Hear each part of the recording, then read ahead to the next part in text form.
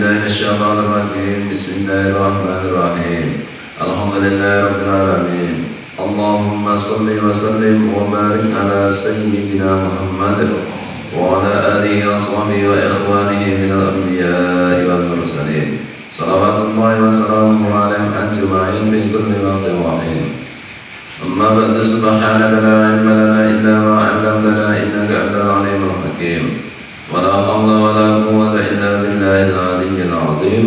العزيز الحكيم بسم الله الرحمن الرحيم. بسم الله الرحمن الرحيم. اللهم افتح علينا. اللهم افتح علينا. فتوح العارفين. بحكمتك. وانشر علينا. رحمتك.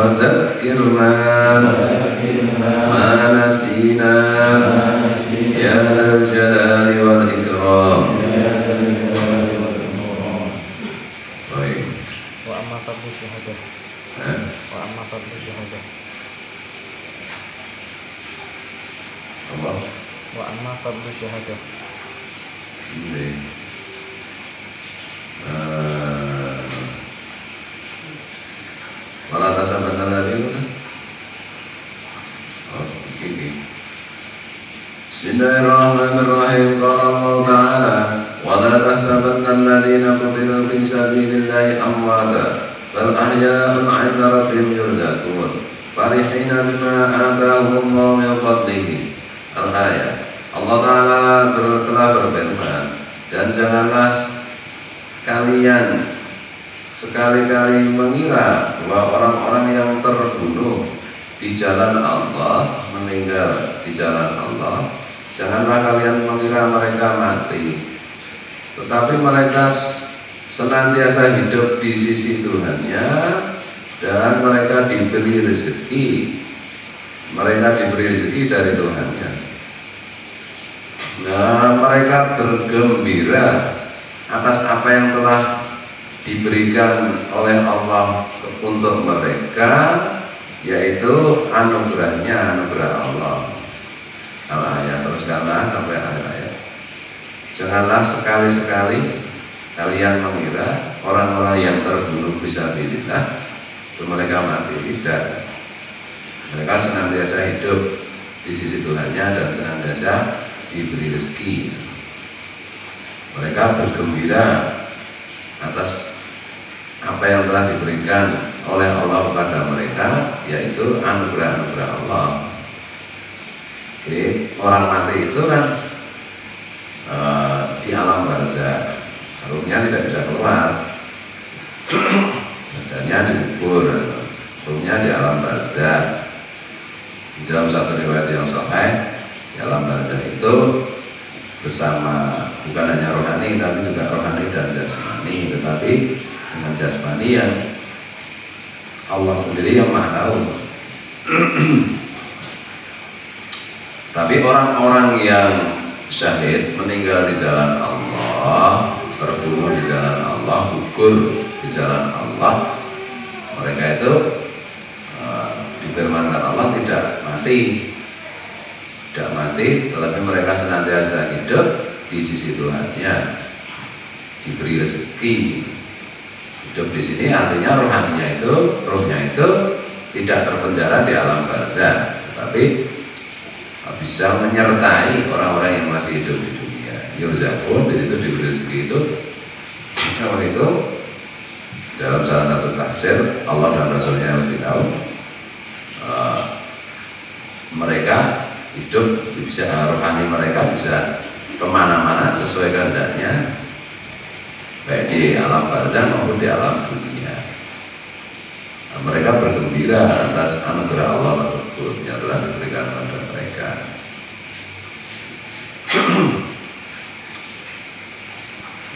Bismillahirrahmanirrahim Wa qala ta'ala sabilillahi falan yudilla a'malahum sayatihim wa yuslimu balahum wa yudkhiluhum jannah marrabalahum Allah Ta'ala juga berfirman Orang-orang yang terbunuh di jalan Allah Gugur di jalan Allah Maka Amal mereka tidak menyesatkan Dan mereka akan senantiasa mendapatkan petunjuk. Allah akan senantiasa memberi mereka petunjuk Dan Allah uh, Membaguskan uh, Hati mereka Atau keadaan mereka. Yudkhilul jannata arrafaha lahu dan mereka kelak akan dimasukkan oleh Allah ke dalam surga. Uh, yang telah diperlihatkan Allah kepada mereka. Di orang-orang yang mati syahid orang-orang yang gugur jalan Allah. Itu amal mereka itu tidak sesat maksudnya tidak sia-sia. Dan Allah senantiasa beri petunjuk kepada mereka bentuknya bagaimana karena kita belum mati belum tahu. Dan Allah membaguskan keadaan mereka. Dan telah Allah akan memasukkan mereka ke dalam surga yang sebelumnya telah diperlihatkan oleh Allah kepada mereka sewaktu masih hidup. Ya, makanya para ulama itu para wali itu kalau belum mimpi, belum ditemui Rasulullah, belum melihat surganya, itu berarti belum akan mati, belum akan meninggal, belum akan apa. Karena Allah berjanji, siapa saja yang berjuang di jalan Allah, sebelum tidak akan meninggal, sebelum Rasulullah itu datang untuk menunjukkan jatahnya di surga. Nah, Mudah-mudahan termasuk kita dan keluarga kita. Amin. Wa qala sallallahu alaihi wasallam Mana guyone santri ini sama santri loro ae. Wis temune kan dengan biro, urung berarti saya urip tenang. Wa sallallahu alaihi wasallam inna lisyahidi 'inda Allah isra akhi salih ayyaghfir fi awali daf'atin min damihi wa yara ma ka'nadahu minal jannati. Wa yuhalla hilyatal iman ujazu min adabil qabri. Wa ya'manu min al-fazail akbari. Wa yudhamu ala rasihi tajul wa qaril yakutati yakutatu minhu khairan minat dunya. Wa ma biha wa yuzawwaju isnataini wa sab'ina zawjatan minal mulil aini wa islamu bi sab'ina min aqaribihi Nabi Shallallahu Alaihi Wasallam juga pernah bersabda, sungguh untuk orang-orang yang syahid di sisi Allah meninggal sebagai syahid ada tujuh perkara. Disediakan tujuh perkara tujuh hal yaitu yang pertama eh, Allah mengampuni dosa orang itu eh, di, di saat mulai darahnya mengucur. Jadi belum meninggal darahnya mulai menetes sudah diampuni semua dosanya. Jadi kalau nggak hati-hati nanti gunakan kelompok teroris untuk membujuk anak-anak muda. Ini memang saya begini teroris matinya oh, nggak mati saya, mati kafir. Sudah nggak ada perang agama. Sekarang perang agama itu ya perang ilmu. Hingga Allah mesti menghidupkan ilmu agama itulah gantinya perang bisa tidak ada yang lain. Ya, perang macam-macam itu. Itu perang wes orang konyol makanya penting lah uh, mensyukuri ilmu yang benar guru yang benar. Penting sekali. Kalau tidak nanti ya banyak anak muda yang ikut teroris dan mati kan tembak nanti peluru itu nembus. Tes itu langsung. Tetesan pertama darah diampuni semua dosa nah orang dia teroris kok diampuni dosanya gimana? Benar.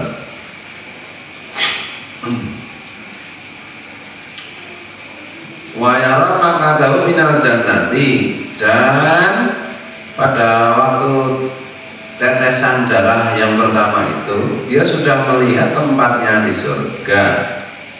Wayuhalla ini kan kalau kita kalau perang Pak. wayuhalla khilyatal imani dan ah, dia dihiasi dengan iman dengan perhiasan iman.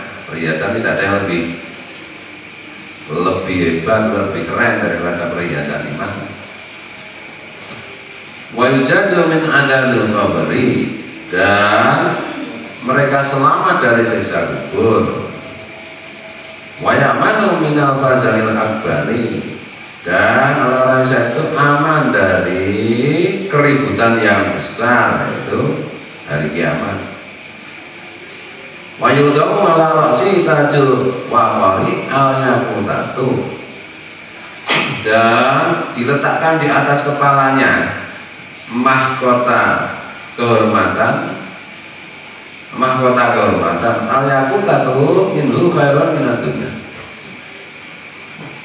yakutnya mahkota itu satu yakutnya dari mahkota itu nilainya lebih mahal lebih bagus daripada dunia dan apa saja yang ada di dunia wa yuzawwaju isnata ini wasabnina zaujatan minal muril ini. Dan dinikahkan dengan 27 bidadari. Ini wong lanang nek wedok piye? Ayo sesuk pengkare jalan dadi wong lanang. Sesuk selera utawa ini ganti dadi lanang. Ini kan gambaran-gambaran saja nah, sebenarnya yang disediakan Allah itu surga itu yang langai rohat kalau itu sampingan dan seterusnya itu mata belum lihat telinga belum pernah mendengar. Lebih dari ini pokoknya. Tidak terbayangkan. Ini warnanya itu oh penak banget yang lanang udah tadi gitu gambaran. Itu loh jawab bodoh-bodoh amat. Maka saya nggak bodoh gitu kan. terus ngomong itu oh penak banget yang lanang caranya ini setelah adil aku lagi Gusti Allah sama orang ini gambaran. Aslinya nyatanya hmm, pikiran belum pernah bisa membayang kenikmatan surga itu seberapa pun kita membayangkan. Lebih dari itu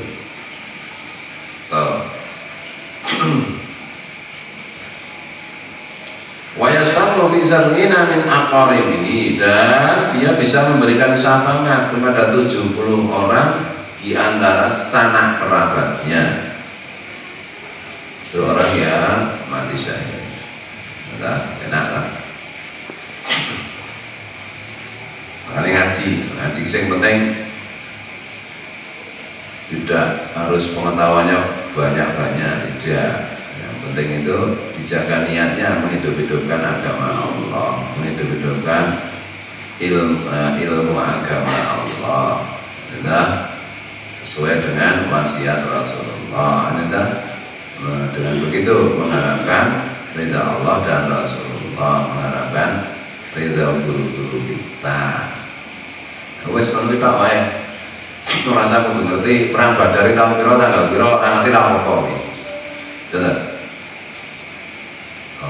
Masa kekhalifahan Islam itu dibagi berapa periode? Orang penting loh. Yang penting ini iman takwa. Nah, yang penting ilmunya tinggi, ilmunya tinggi itu makin tinggi ilmu kan makin khusyuk kepada Allah. Nah, yang kadang-kadang ngajinya kan diulang-ulang.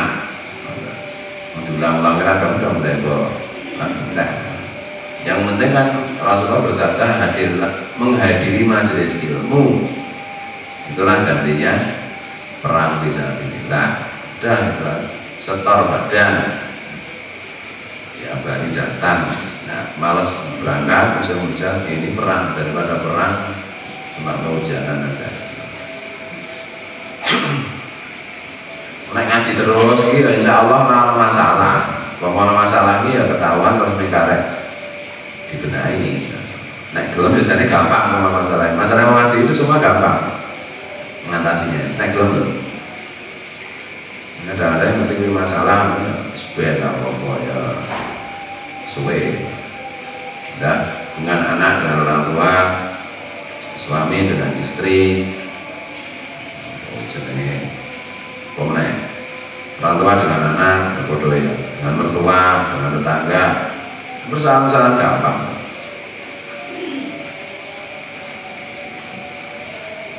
Bismillahirrahmanirrahim. Dengan ekonomi ya gampang.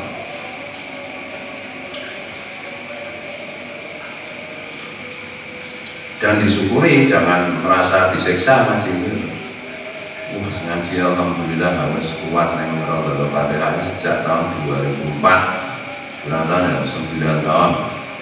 Hidup dalam penderitaan. Ya disyukuri ya gitu yang dunia ini sedela ketika-ketika mati kan lo entah kapan gitu oleh ngaji bisa ketahuan dari santri ya tetap sebentar tetap sebentar. Coba lihat orang yang sudah usia 90 tahun 100 tahun kan. Tanyakan kepada mereka. Masa remaja masa muda itu kan. Seperti kemarin saja. Seperti, seperti baru kemarin saja terjadi. Kita pun pasti akan begitu kalau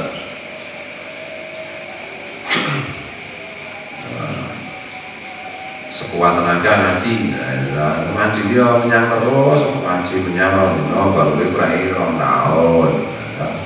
Lama menyang rong sasi ya jutek ini. Ngaji Quran tekan opo yang tak lali jadi. Bocah ini ngaji ini dia tekan opo lali ya.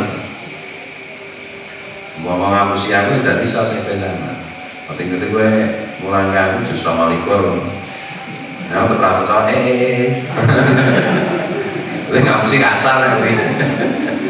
Ketok loh. Nah, berangkat terus apa pun yang terjadi godaan di luar jelas kuat, jelas berat. Nekat berangkat, apa pun yang terjadi. Hancur remuk, tersindir di ngaji, bangkit lagi, ngaji lagi, terus. Apa pun yang terjadi sampai mati. Nah, ini baru mulai mati dirawi kanjeng Nabi kalau suarga kono kae dan kan ono malaikat rawuh eh siap-siap. Aku nyawa nek ingin apa yang menjaluk aku bios Kemudian ngaji kenalan, ngaji ngaji sasi bisa nyang window balik terus tahun namanya pada menunggu ya. Mak jika gitu, jangan cinta sama dari mereka. Oh iya ada. Saya saya saya ambil nabi dari rawi ulo rasuti. Ya nek ada nabi rasuti ini kan terus ya Allah ora tok ora dibarang rasa maju beda gede. Misalnya sekarang yang paling penting ngaji ini. Yang lainnya juga penting, tetapi tidak sepenting ngaji. Betul